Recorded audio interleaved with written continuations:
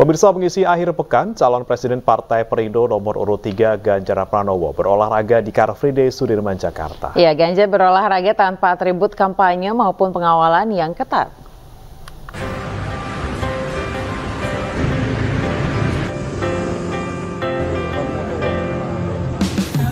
Calon Presiden Partai Perindo nomor 3 Ganjar Pranowo mengisi air pekannya dengan berolahraga di Car Free Day Sudirman Tamrin, Jakarta.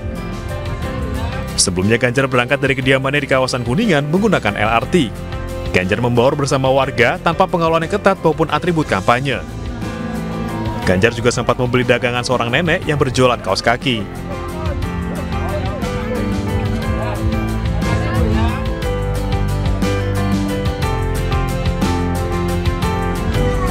Selama berolahraga di CFD, Ganjar melayani warga yang mengajaknya berfoto dan bersalaman dengan ramah.